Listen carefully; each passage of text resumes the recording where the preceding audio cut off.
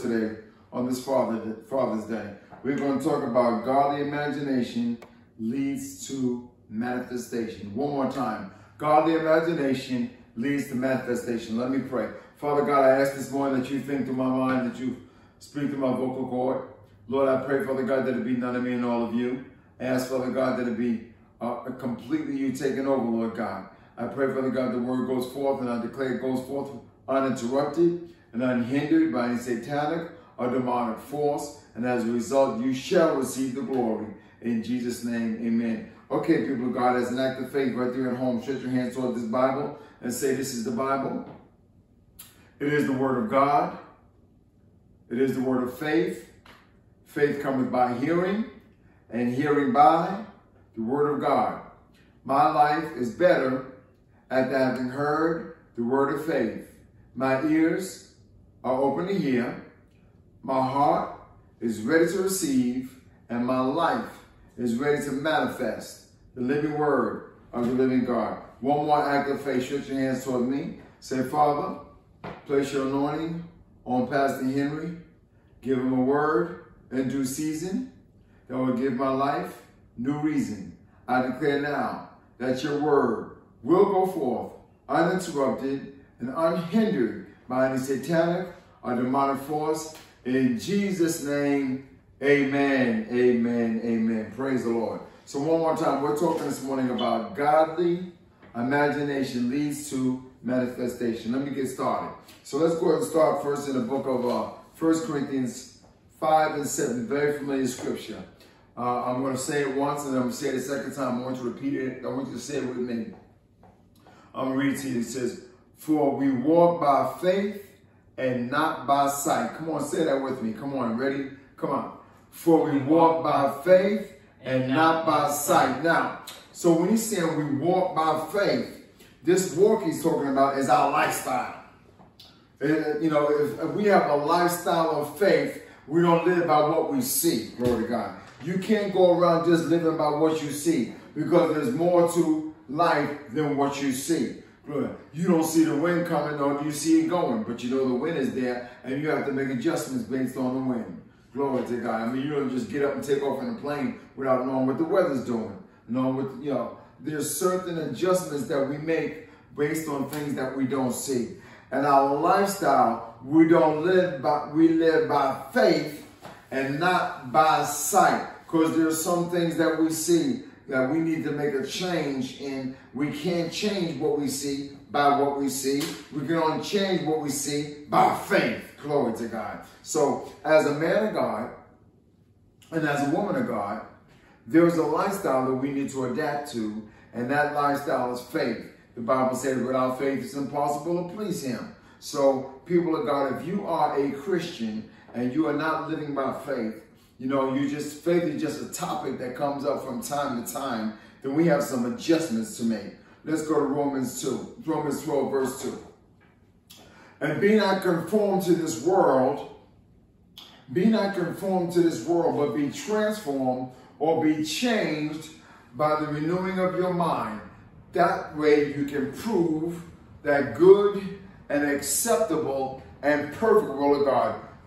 okay, so be not conformed to this world. People of God, this world lives by what it sees. If it can't see it, it can't, it won't believe it. It's only going to operate and it's only make adjustments by what they can see. But the Bible tells us not to be conformed to the ways of this world, but be transformed or be changed there's a change that God wants us to make, glory to God. And the change he wants us to make has to do with the mind. We have to renew our mind, glory to God. The only way we're going to uh, renew our mind is based on his word. That we may prove what is that good and acceptable and perfect will of God. Now we know the will of God is the word of God. So it says, be transformed by the renewing of the mind and the perfect will of God is that your mind is in line with the word of God. And the word of God comes. Now faith comes by hearing and hearing the word of God. So people go, we don't live by what we see, but we live by what the word says. So we walk by faith and not by sight. Praise God. Praise God. Praise God. So somebody might be thinking, but Pastor Henry, how am I going to live in this world not, not living according to what I see? Not living according to what I see. Let me show you. Of course, we're going to see some things. And of course, we're going to make adjustments based on what we see. And of course, we're not going to ignore what we see. But what we see doesn't have to be the final authority. Let me say that again. What we see does not have to be the final authority. But what he said in this word, that what can be the final authority. Now, let me go to Second Kings. Uh, Second Kings. I'm going to go to the uh, sixth chapter. Okay. Now, this is the um, the king of uh, Aram was warring against the king of Israel. But every time Aram, the king of Aram, would make a move, uh, the king of Israel, the king of Israel knew what he was going to do. Would make a counter move, make a counter move, make a counter move, and he was saying, "What is going on here? What it is is Elisha, the prophet, was telling the king of Israel everything that the king of Aram was about to do."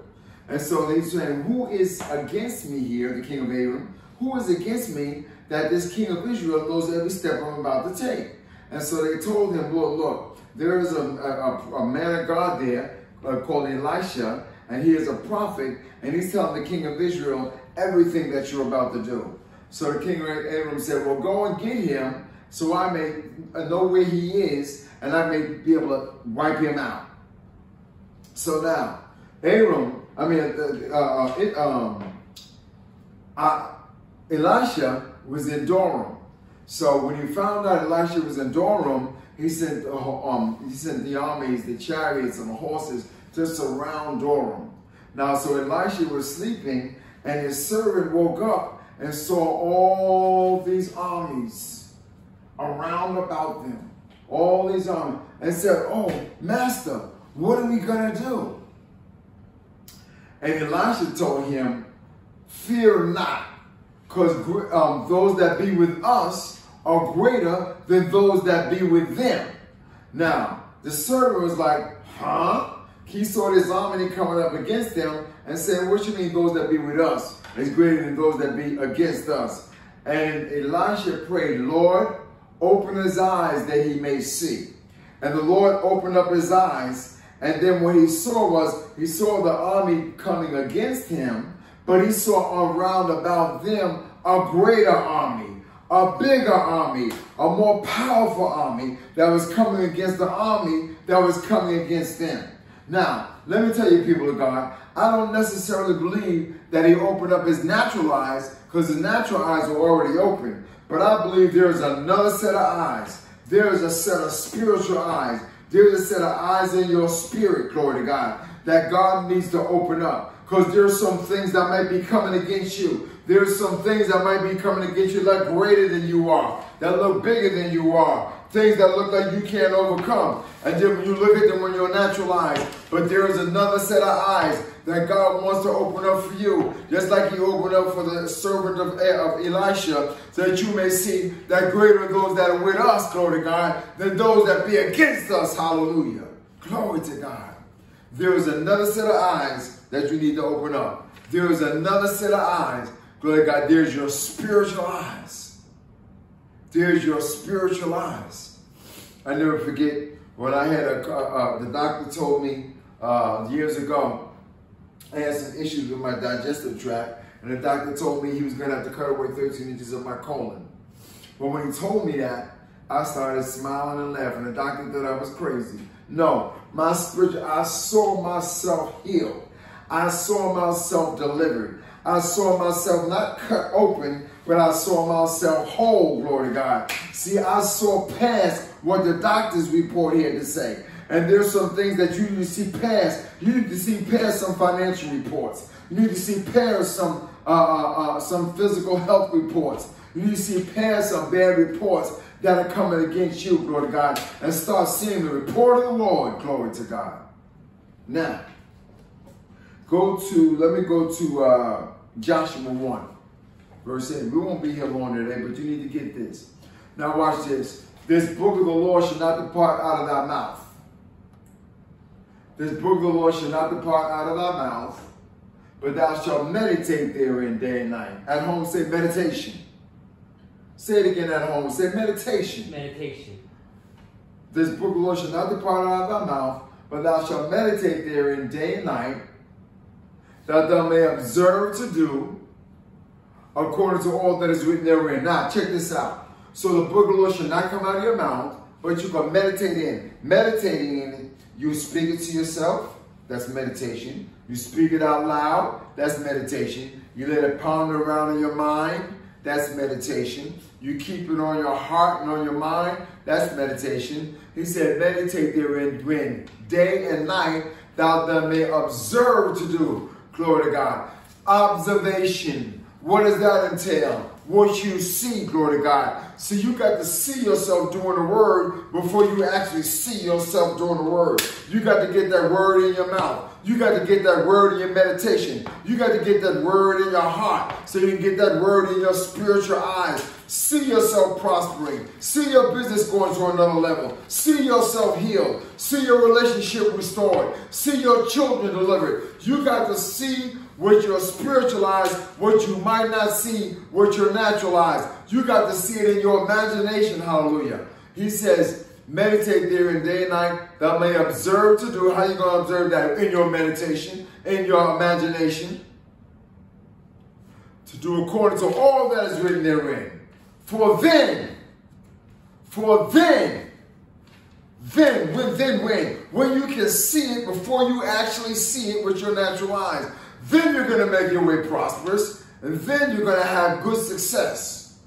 Then you're going to have good success. You got to see it before you see it. You got to say it. You got to meditate on it. You got to observe it with your heart. Observe it with your inner eyes before you'll see it with your natural eyes. That's when you're going to make your way prosperous. That's when you're going to have good success. That's when you're going to get your healing. That's when your business is going to come together. That's when your ministry is going to flourish.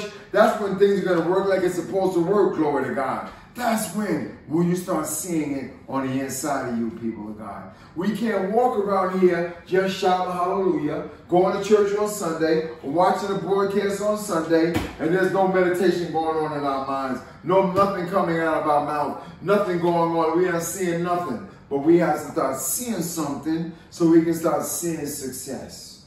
Good success. Praise God. Good. Godly imagination. That's what's going to lead to manifestation. Let me go keep going.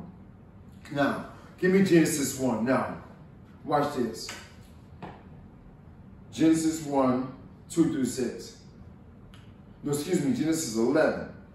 Genesis 11, 2 through 6.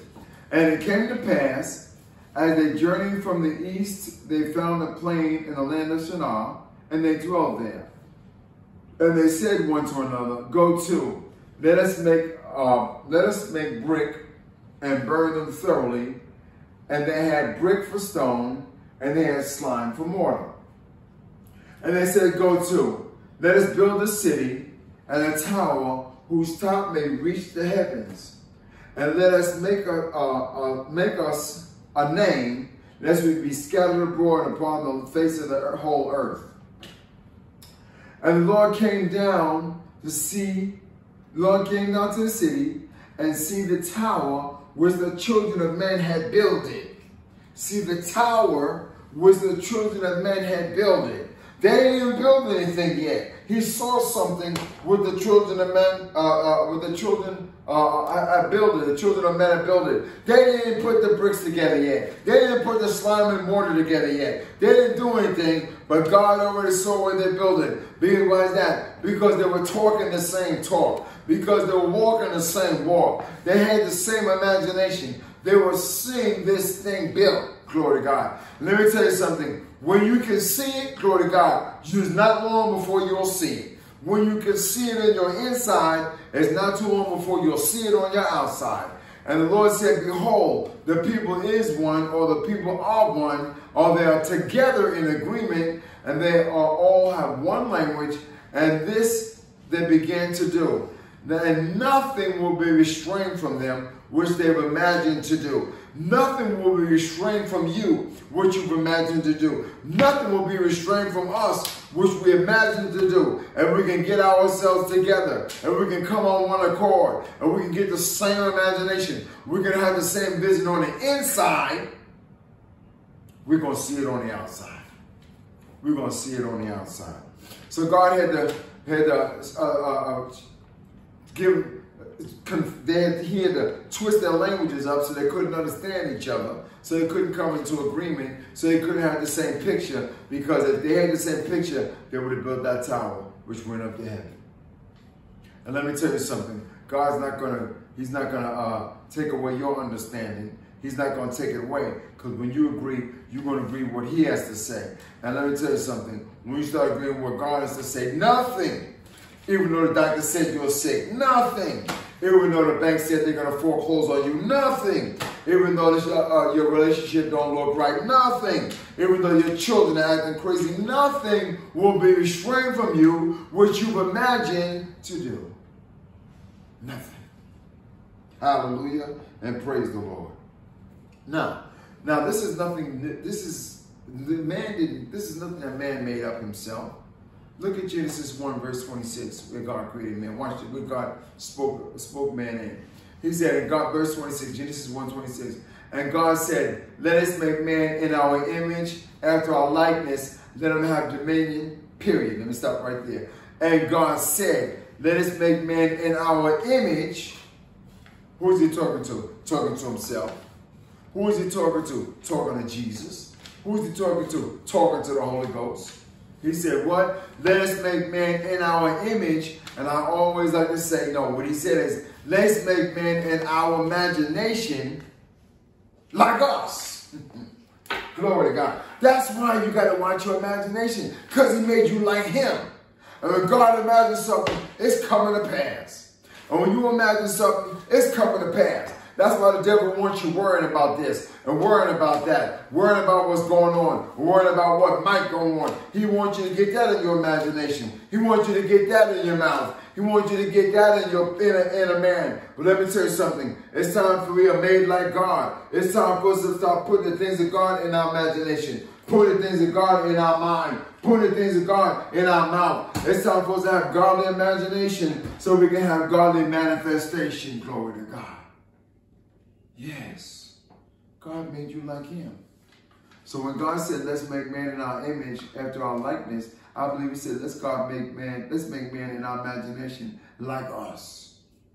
Let him have dominion like us. That's why we have dominion. There's no other animal on this planet. There's nothing on this planet that has more dominion than man.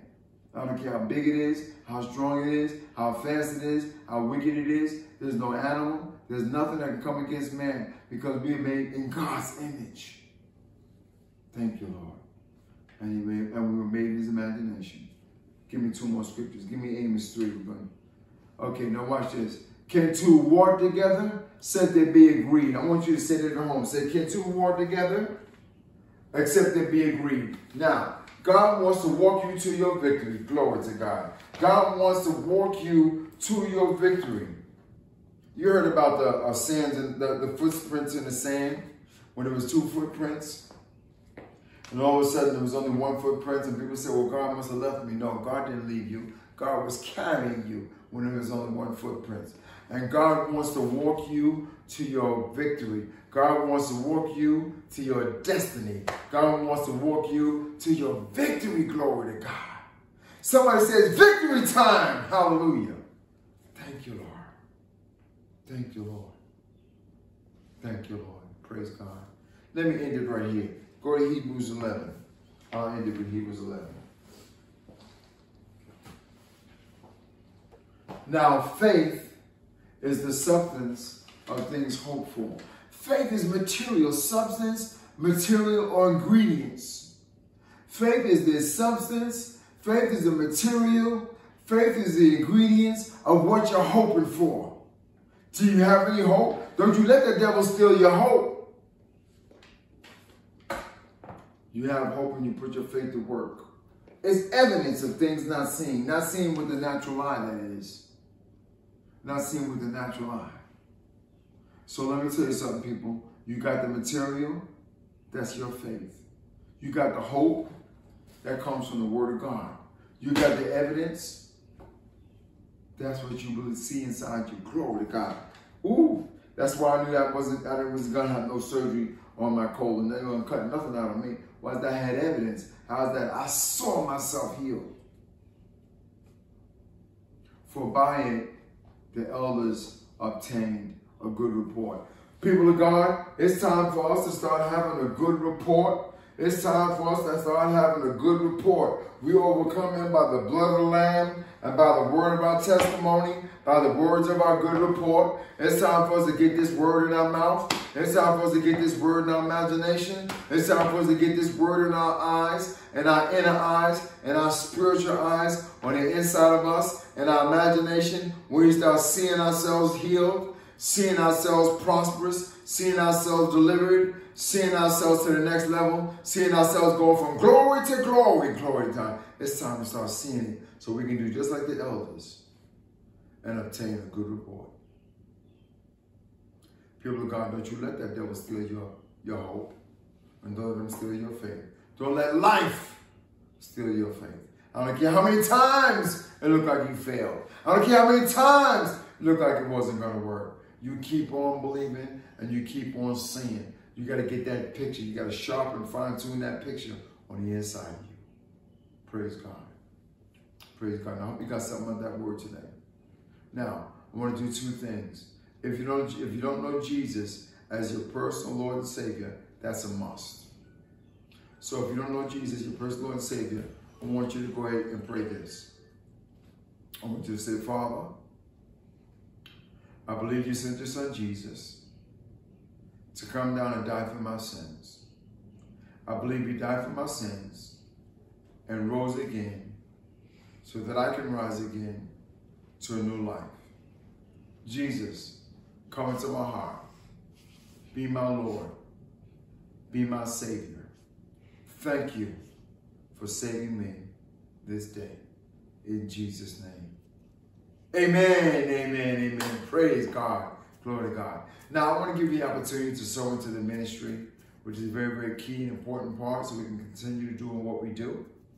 Uh, you need to continue getting this word. You need to continue in the things of God. Faith comes by hearing, and by hearing, and by hearing, and by continuing to hear. So, uh, I want to give you an opportunity to sow. We have several ways we can do that. One, we can do it by Cash App.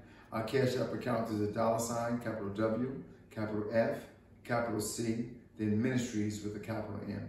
Let me give it to you again. Dollar sign, capital W, capital F, capital C, then ministries with a capital M. You can do it over by phone at 770-477-8586. One more time, at 770-477-8586. Or you can mail us a check Make the check out to WFCM and send it to P.O. Box 33, Jonesboro, Georgia, 30237. Again, that's WFCM, P.O. Box 33, Jonesboro, Georgia, 30237. People of God, I love you. I thank God for you. We'll see you right here next week, Sunday. And you keep your imagination on the things of God. Be blessed.